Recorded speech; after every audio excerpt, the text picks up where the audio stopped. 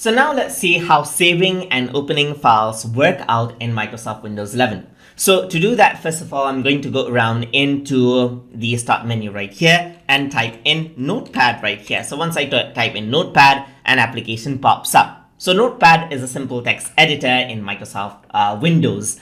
So over here, I'm just going to say that this is a test file right here. I'm just going to type it and if you want to save up the file, so whenever you type it, the file is actually just there in your memory. So if you were to close it, or if the computer turns off, the file is not saved. So for future access, you need to save the file. And to do that, in most of the applications, so depending on the application, this might be different as well. So over here, in most of the applications, you click on File, click on Save right here, and then choose the area where you want to save the file and then just rename the file according to how you like it. So let's say I'm going to name this as example and then click save right here. So once I do that, since I saved it in my desktop, you can see it over here. So I can close this and then if you want to open up the file, just double click on it and the file will be opened up. Alternatively, what you can also do is you can go around over here on the start menu, choose the application that you want to open the file with, go to file right here, click on open and then select this out.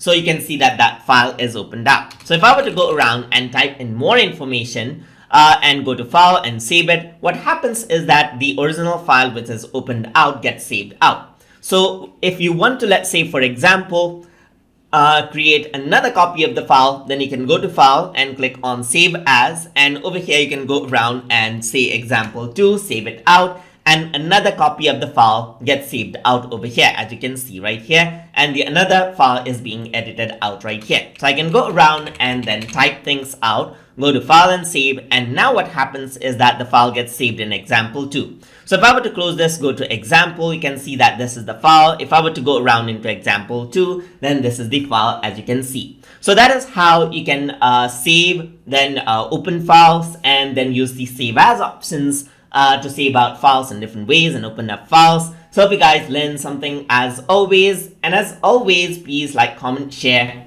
and subscribe.